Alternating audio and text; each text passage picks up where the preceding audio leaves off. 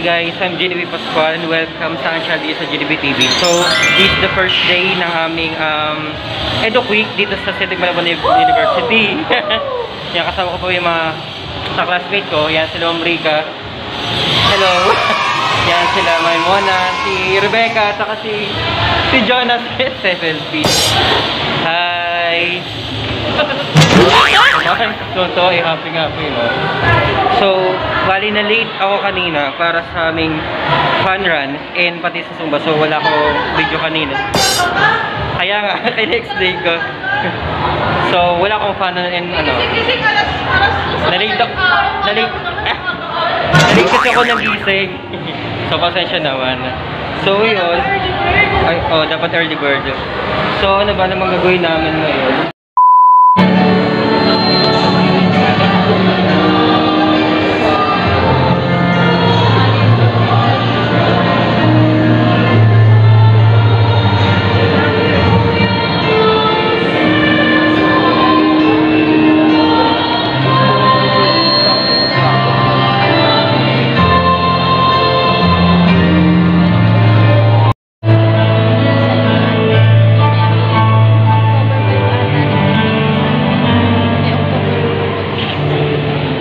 living vessel of faith the gracious practice of grace, that will be always see the and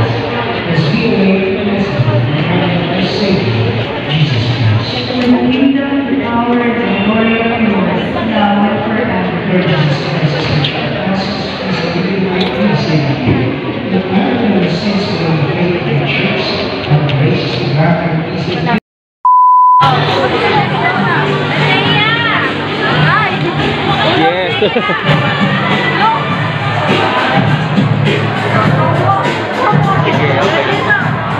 uh, video, ay video yan. Nagpa-vlog ka? ano, ano lang, documentation lang para ano, baka sabihin nila Dapat ma'am, nag-vlog ka! Finish mo! wala.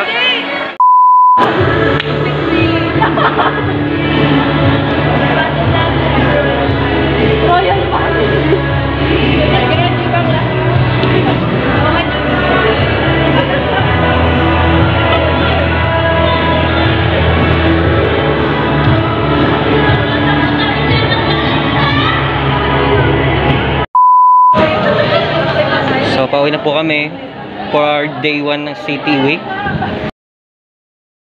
Sa sports.